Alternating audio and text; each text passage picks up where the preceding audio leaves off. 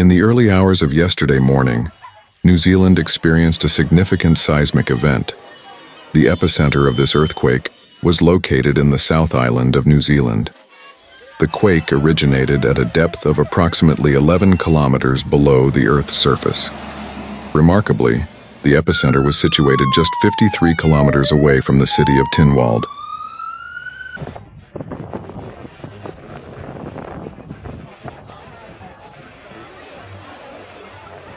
According to seismologists, the magnitude of this earthquake measured 7.5 on the Richter scale, indicating its substantial impact. Although the quake resulted in only minor damage to buildings and infrastructure in various communities, it prompted immediate response efforts.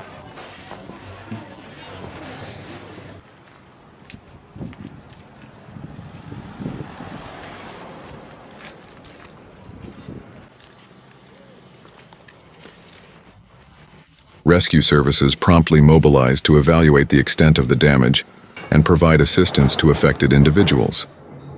The Geological Survey is diligently monitoring the aftermath of this regional upheaval emphasizing the importance of global vigilance.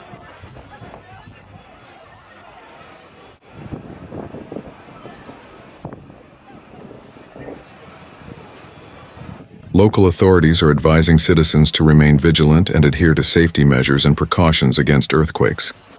As experts continue to analyze data, they are also assessing potential risks to the population stemming from future seismic events.